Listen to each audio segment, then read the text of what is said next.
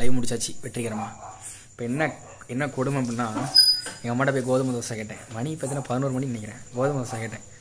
இருடா மாவு இருக்கா பார்ப்போம் அப்படின்னாங்க. மாவு இருக்கான்னு பார்த்துட்டு ஒரு சின்ன இதுலேருந்து எடுக்கிறாங்க.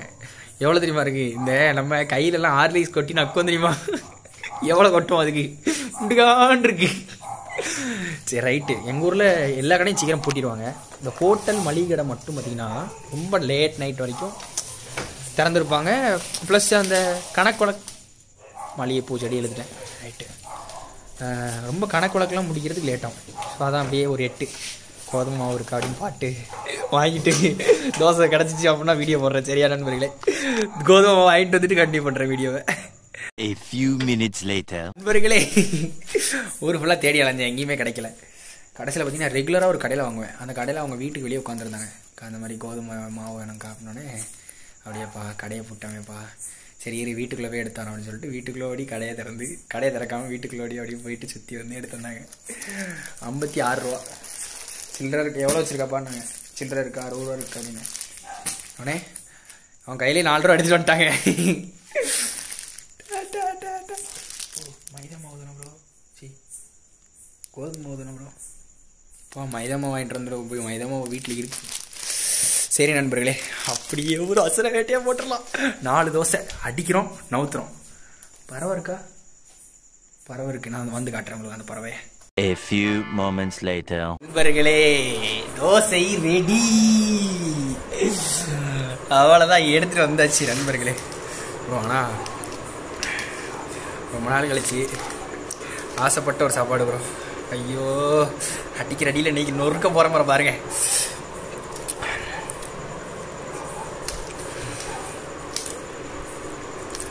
இந்த போறப்பு தான்.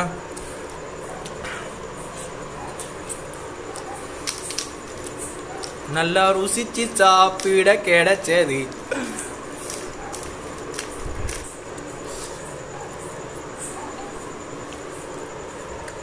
ஒன்று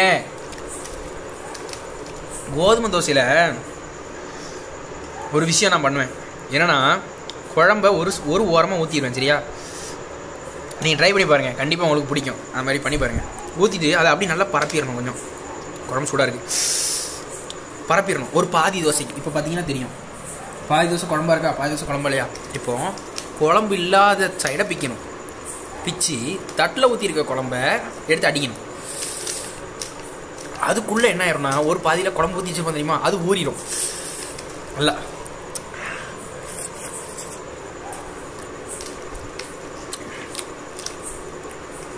அது ஊறிடும். அது ஊறிடுச்சுன்னா நம்ம மிச்ச பாதியை பிச்சு சாப்பிட்டா போதும். குழம்புல முக்கவே தேவையில்ல. சில பேர் குழப்பி அடிப்பாங்க. நான் நானும் அந்த கேட்டகரி தான். அப்படி இருக்கவங்க மறுபடியும் அதை முக்கிக்கலாம்.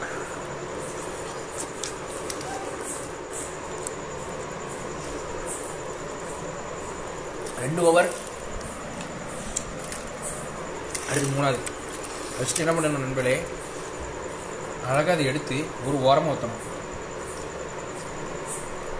ஊற்றிட்டு ஊற்றிட்டு அதை அப்படியே ஸ்ப்ரெட் பண்ணிடணும். பாதி தோசை. இதுதான் ப்ரொசீஜர் மீதி தோசைக்கு இந்த குழம்பு எடுத்துடணும். இந்த இடத்துல இந்த குழம்பு இந்த தோசைக்கு எடுத்துடணும். இதுதான் ப்ரொசீஜர் இந்த ப்ரொசீஜரை கரெக்டாக கரெக்டாக ஃபாலோ பண்ணிங்கன்னா நான் நாலு சாப்பிட்றேன். நீங்கள் அஞ்சு ஆறு சாப்பிட்றீங்க ஜம்முன்னு. ஏன்டிஜி வயிறு பிரச்சனை வயிறு பிரச்சனைன்னு சொன்னீங்க. அடி அடி நடிச்சிட்ருக்கேன்னு கே கேட்பீங்க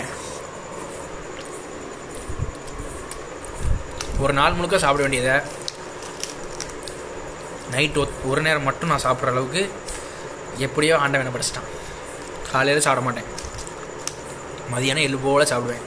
ஆனால் நைட்டு மூணு நாலு சாப்பாடு சாப்பிடுவேன். இப்போ கொஞ்சம் கொஞ்சமாக பயிர் புண்ணாச்சுல மறந்துட்டு கொஞ்சம் சரியாக இருக்கா? காலையிலையும் சாப்பிட பழகிட்டு இருக்கேன்.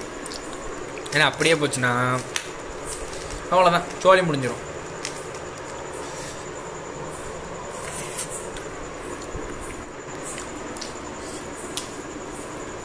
நம்பர் நான்கு. எங்கள் அம்மா கரெக்டாக தெரியும். நாலு சாப்பிட்ருவேன்ட்டு கரெக்டாக நாலு சுட்டு கொண்டு வந்தாங்க. அதுக்கு மேலே சாப்பிட மாட்டேன். இதில் அப்படியே அழகாக நம்ம குழப்பி ரோல் பண்ணியாச்சு. இப்போ இந்த இது பூரியில் மசாலா வச்சு ரோல் பண்ணுவாங்க தெரியுமா? மசாலா தோசை ரோல் பண்ணுவாங்க தெரியுமா?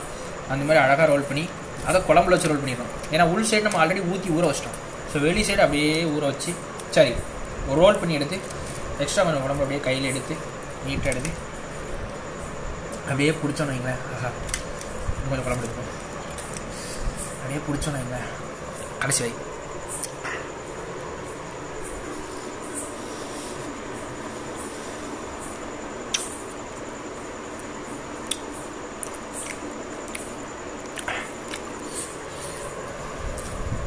இப்போ நம்ம மிச்சம் வச்ச மிச்சம் வச்ச அந்த மீன்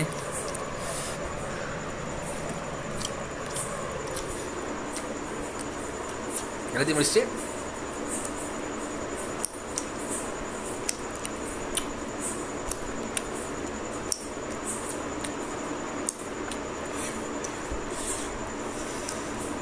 அப்பவும் பசி இருந்துச்சுன்னு வைங்களேன் இந்த ஒரு விரல லைட்டாக குழம்பு எடுத்து.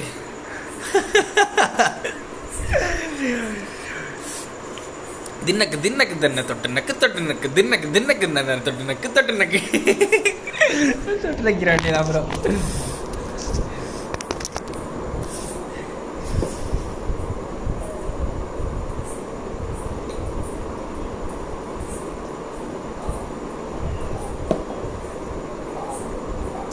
முடிஞ்சு நண்பர்களே.